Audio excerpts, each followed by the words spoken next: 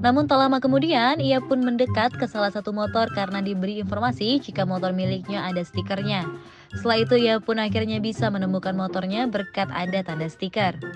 Wajar saja jika emak-emak itu sangat kebingungan saat cari motor di parkiran. Pasalnya, motor itu bukanlah miliknya, melainkan milik saudaranya. Momen kocak saat emak-emak kebingungan cari motor miliknya gara-gara ada yang sama itu langsung membuat warganet ngakak. Berbagai komentar kocak pun langsung memenuhi unggahan tersebut. Mereka pun mengimbau agar si emak mengingat plat motor nomornya agar hal seperti itu tidak terjadi lagi. Momen kocak terjadi ketika seorang emak-emak cari motor di parkiran gara-gara ada dua motor yang berjejer dengan merek dan warna yang sama.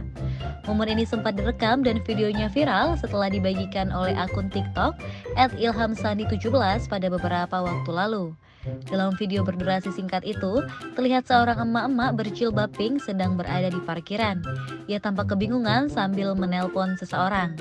Rupanya ia kebingungan lantaran ada dua unit motor merek Honda Beat di hadapannya dengan warna dan model yang sama.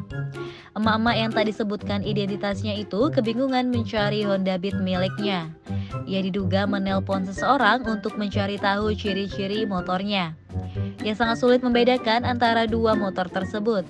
Seorang wanita yang merekam video tersebut pun mencoba membantunya. Kenapa, Bu? Oh, bedanya podo. Kunci nih. Amin.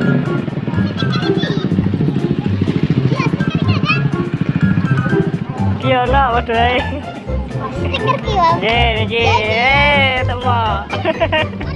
Wes